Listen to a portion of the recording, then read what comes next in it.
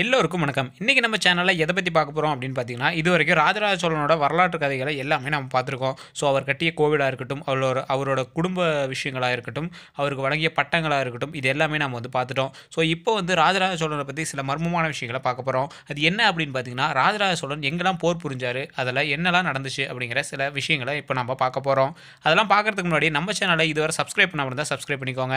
அப்படியே பக்கத்தில் இருக்கிற பெல் பட்டனை மறக்காமல் ப்ரெஸ் பண்ணிக்கோங்க. அப்போ தான் இது போல் சுவாரஸ்யமான தகவல்கள் உங்களுக்கு உடனுக்குடன் வந்து சேரும்.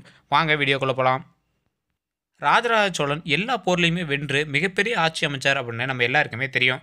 அவர் எந்தெந்த போருக்கு போனார் அப்படிங்கிற சில விஷயங்கள் நம்மளுக்கு தெரியாமையே இருந்திருக்கு.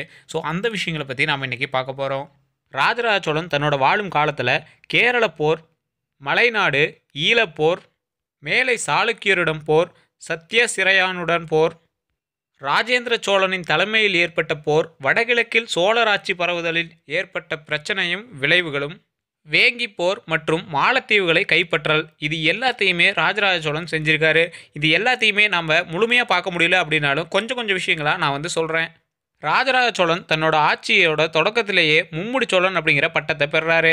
இவர் ஆட்சி காலத்தில் முதல் போர் கேரள நாட்டுடன் நடந்தது. இந்த போரோட விளைவு பற்றி இம்மன்னனது நான்காம் ஆண்டு முதலாக கல்வெட்டுகளில் காணப்படும். காந்தலூர் சாலை களமறுத்த என்ற பட்டத்தால் வழங்கப்படுகிறது. இந்த பட்டம் ராஜராஜ சோழனோட நான்காம் ஆண்டு கல்வெட்டில் காணப்பட்டாலோ எட்டாம் ஆண்டிற்கு முற்பட்ட கல்வெட்டுகளில் கேரளத்திலும் பாண்டிய மன்னனிலும் அதாவது பாண்டிய நாட்டிலும் காணப்படலை.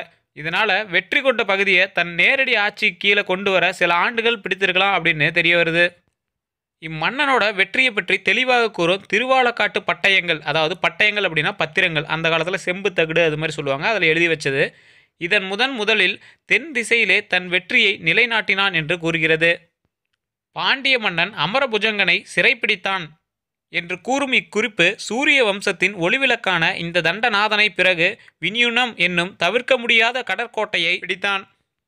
வெற்றி தெய்வத்தின் நிலையான இருப்பிடம் என்று சொல்லத்தக்க சிறப்புடையது அக்கோட்டை. பாண்டிய கேரள சிங்கள நாடுகளை தென்னாட்டு அரசுகள் மூன்றும் இணைந்திருந்தது. இராஜராஜ சோழன் ஆட்சியிலும் இக்கூட்டணி செயல்பட்டது. ராஜராஜ சோழனோட தென்திசை போரில் பாண்டியர் சேரர் இருவரையுமே எதிர்க்க வேண்டிய நிலை வந்தது. அப்போது சேர மன்னராக இருந்தவர் பாஸ்கர ரவிமர்மன் திருவடி கிபி தொள்ளாயிரத்தி எழுவத்தி எட்டு டு ஆயிரத்தி முப்பத்தி ஆறு. இம்மன்னனின் கல்வெட்டுகள் திருவாங்கூரின் பல்வேறு பகுதிகளில் காணப்படுகின்றன. இப்போ நாம் பார்த்தது கேரள படையெடுப்பு. அடுத்ததாக நாங்கள் பார்க்க போகிறது மலைநாடு. கிபி ஆயிரத்தி எட்டாம் ஆண்டுக்கு முன் மேற்கொள்ளப்பட்ட இப்படையெடுப்பின் பொழுது உதகை கோட்டையை தாக்கி கைப்பற்றியது முக்கியமான நிகழ்வாகும். மேற்கு மலைப்பகுதியான மலைநாடு அல்லது குடமலைநாடு இப்போதைய குடகு மலையாகும் அதாவது குடகு நாடு ஆகும் உதகை கோட்டை குடகின் அருகே மேற்கு தொடர்ச்சி மலையிலோ அல்லது சிறிது தென் திசையிலோ இருந்ததாக கொள்ளலாம். ராஜராஜ சோழன் ஆட்சியை பற்றி கூறும் கலிங்கத்து பரணி உதகையை கைப்பற்றியதை மட்டுமே குறிப்பிட்டுள்ளது. சேர நாட்டில் தான் பிறந்த சதய நாள் விழாவை தொடங்கி வைத்தான் என்றும் ராஜராஜனுடைய தூதுவன் அவமதிப்பப்பட்டதால் அதாவது அவங்களை வந்து அசிங்கப்படுத்தியிருக்காங்க. ஏதோ ஒரு காரணத்துக்காக அந்த பழியை தீர்க்கும் வகையில் பதினெட்டு காடுகளை இவன் கடந்து சென்று உதகையை தீயிட்டு அழித்தான் என்றும் மேலும் இது ராஜராஜ சோழனின் பெரும் சாதனை என்றும் ஒட்டக்கூத்தர் தனது மூன்று உலாக்களிலும் கூறுகிறார். உதகை கோட்டை எனப்படுவது இப்போது தென்குமரி நாட்டில் உள்ள உதயகிரி கோட்டை இங்கே சோழர் தளபதியாக இருந்த ராஜேந்திர சோழன் இரண்ய சிங்கநல்லூர் தலைமையாக்கி வேணாட்டை ஆண்ட பாஸ்கர ரவிவர்மனால் சிறைப்பிடிக்கப்பட்டு வைக்கப்பட்டிருந்தான். இந்த பாஸ்கர ரவிவர்மன் தான் ராஜேந்திர சோழனையே சிறைப்பிடித்தது. இதனால் கோபம் கொண்ட ராஜராஜ சோழன் பெரும் படையுடன் வந்து வேணாட்டை வென்றான். உதயகிரியை அழித்தான். சேர நாட்டு அதர்வ வேத பாடசாலைகளை அழித்தான். இதையே காந்தலூர் சாலை களமறுத்தல் என்று தன் மெய்கீர்த்திகளில் குறிப்பிட்டிருக்கிறார். இத்தகவலை கே. கே. பிள்ளை அவர்கள் அவரது தென்னிந்திய வரலாற்று நூலில் சொல்கிறார். கவிமணி தேசிக விநாயகம் பிள்ளை காந்தலூர் சாலை பற்றி எழுதிய விரிவான ஆய்வு கட்டுரையும் இதை பற்றி பேசுகிறது. அடுத்ததான் நம்ம பார்க்க போகிறது ஈழத்தின் போர். ராஜராஜ சோழனால் வென்று கைப்பற்றப்பட்ட நாடுகளுள் ஈழமும் ஒன்று என்பதை இம்மன்னனது திருமகள் போல என்று தொடங்கும் கிபி தொள்ளாயிரத்தி தொண்ணூற்றி மூணாம் ஆண்டு மெய்கீர்த்தியால் அறியலாம். கொடுமை மிக்க சிங்களர்கள் வசமிருந்த ஈழ மண்டலத்தை இம்மன்னன் கைப்பற்றியதன் மூலம் இவனது புகழ் என் திசைகளிலும் பரவியது. தஞ்சையில் ராஜராஜ சோழன் எடுப்பித்த சிறந்த கோவிலுக்கு ஈழத்தின் பல கிராமங்களை இவனுடைய இருபத்தி ஒன்பதாவது ஆண்டில் தானமாக அளித்தான். இருபத்தி ஒன்பதாவது ஆண்டு இருபத்தி ஒன்பதாவது நூற்றாண்டு கிடையாது. இருபத்தி ஒன்பதாவது ஆண்டில் தானமாக வழங்கியிருக்காரு என்று ஈழ படையெடுப்பை பற்றி திருவாலங்காட்டு பட்டயங்கள் சிறப்பாக குறிப்பிடுகின்றன. இப்படையெடுப்பின் பொழுது ஈழ மண்டலத்தில் ஆட்சி புரிந்து கொண்டிருந்தவன் கிபி தொள்ளாயிரத்தி எண்பத்தி ஒன்றாம் ஆண்டில் பட்டம் பெற்ற ஐந்தாம் மகிந்தன் என்பவனாவான். முதலாம் ராஜேந்திரனின் தலைமையில் சோழப்படை சென்றபொழுது இம்மன்னனே ஆட்சியில் இருந்தான். ஆனால் ராஜராஜனின் இப்படையெடுப்பை பற்றி மகாவம்சம் குறிப்பிடவில்லை. மகிந்தன் ஆட்சியில் பத்தாம் ஆண்டிற்கு பிறகு கிபி தொள்ளாயிரத்தி தொண்ணூற்றி ஒன்றில் ஓர் இராணுவ புரட்சி ஏற்பட்டு அதன் விளைவாக பெரும் குழப்பம் விளைந்தது. கேரள கன்னட வீரர்களின் செல்வாக்கு இவன் நாடு முழுவதும் பரவியதே இந்த குறைபாட்டிற்கு காரணமாக இருக்கலாம். இராணுவ புரட்சியின் விளைவாய் மகிழ்ந்தன் ஈழ மண்டலத்தின் தென்கிழக்கில் உள்ள ரோகண நாட்டிற்கு தப்பி ஓடிவிட்டான். இதனால் ஈழ மண்டலத்தின் வடபகுதியை ராஜராஜனின் அதாவது ராஜராஜன் எளிதில் கைப்பற்றி மும்முடி சோழ மண்டலம் என்று அதற்கு பெயரிட்டான் என்று கல்வெட்டுகள் குறிப்பிடுகின்றன.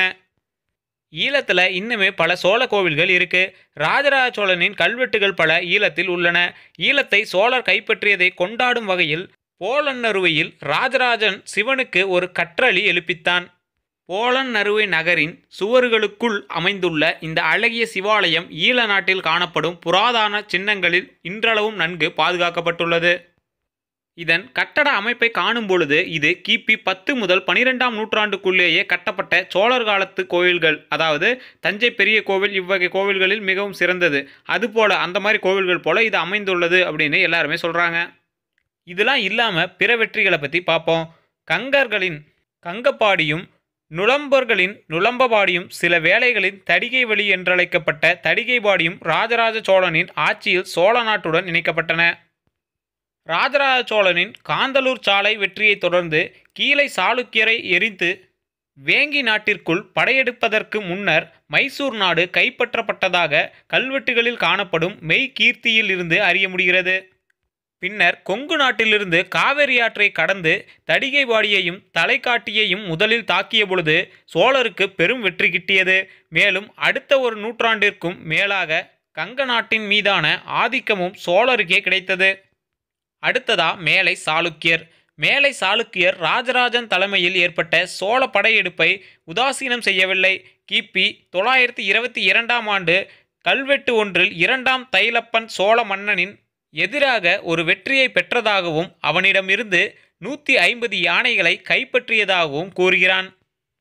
சில வரலாற்று ஆசிரியர்களின் கூற்றுப்படி கிபி தொள்ளாயிரத்தி இருபத்தி ரெண்டில் இந்த போர் நடைபெற்றதாக கருதப்படுகிறது. ஆனால் இதை உண்மை என்று நிரூபிக்கும் ஆதாரங்கள் இல்லை.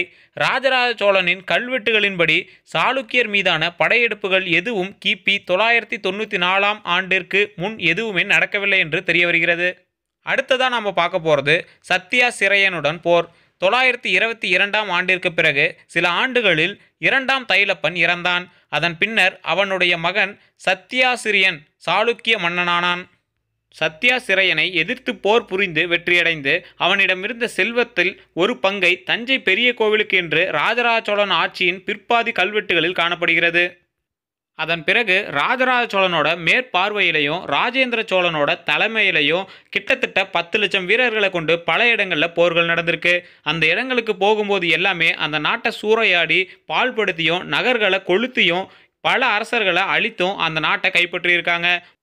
ஆனால் சாதாரணமான மக்கள் மேலேயோ அதீத புலமை உள்ளவங்க மேலேயோ கட்டிடக்கலையில் சிறந்தவங்க மேலேயோ எதுவுமே பண்ணலை. அவர்களை அந்த நாடு கடத்தி கொண்டு வந்து அவங்களோட நாட்டுக்கு கொண்டு வந்திருக்காங்க. அவங்கள வச்சு சில கட்டமைப்புகள் கட்டணதாகவும் சில வரலாறுகள் கூறப்படுது. கடைசியாக மாலத்தீவுகளை கைப்பற்றுதல். ராஜராஜ சோழனது போர்களுள் இறுதியில் நிகழ்ந்தது. இவர் முன்னீர் பழந்தீவு பனிரெண்டாயிரம் எனப்படும் மாலத்தீவுகளை கைப்பற்றும் பொருட்டு படையெடுத்ததேயாகும். கடல் கடந்து சென்ற இப்படையெடுப்பை பற்றி விரிவான விளக்கங்கள் கிடைக்கவில்லை. எனினும் ராஜேந்திர சோழன் பிற்காலத்தில் திறமையாக பயன்படுத்திய கடற்படை ராஜராஜ சோழன் காலத்திலேயே சிறந்த முறையில் உருவாக்கப்பட்டது என்பது தெளிவு. இது மட்டும் இல்லாமல் பல இடங்களில் இவங்க போர் புரிஞ்சிருக்காங்க. போர் புரிஞ்ச எல்லா நாட்டிலையுமே ராஜராஜ சோழன் வெற்றியை தான் கொண்டு வந்திருக்காரு. மலை நாட்டில் பாஸ்கர ரவிவர்மனால் ராஜேந்திர சோழன் சிறைப்பட்ட போது தான் ராஜராஜ சோழன் ரொம்பவே கோபமடைந்து அந்த நாட்டை அழித்து அந்த ராஜாவை அழித்து அந்த இடத்த கைப்பற்றியிருக்காரு. அதுதான் மிகப்பெரிய விஷயமா அந்த இடத்துல கருதப்படுது. ராஜேந்திர சோழனையே சிறைப்பிடித்தார் அப்படின்னு பாஸ்கர ரவிவர்மனுக்கு தனி சிறப்பும் அந்த இடத்துல கொடுத்துருக்காங்க. இந்த வீடியோவை பற்றின உங்களது கருத்துக்களை கமெண்ட் செக்ஷனில் தெரிவிச்சுக்கோங்க. இந்த வீடியோ பிடிச்சா லைக் பண்ணிக்கோங்க. இன்னும் உங்களுக்கு ஏதாவது வேணும் அப்படின்னா நீங்கள் கமெண்ட் செக்ஷனில் தெரிவிக்கலாம். இந்த வீடியோ பிடிச்சா லைக் பண்ணுங்கள் மறக்காமல் உங்களோட நண்பர்களுக்கு பகிருங்க. இதுவரை நம்ம சேனலை சப்ஸ்கிரைப் பண்ணாமல் இருந்தால் சப்ஸ்கிரைப் பண்ணிக்கோங்க. அப்படியே பக்கத்தில் இருக்கிற பெல் பட்டனை மறக்காமல் ப்ரெஸ் பண்ணிக்கோங்க. எல்லோருக்கும் நன்றி.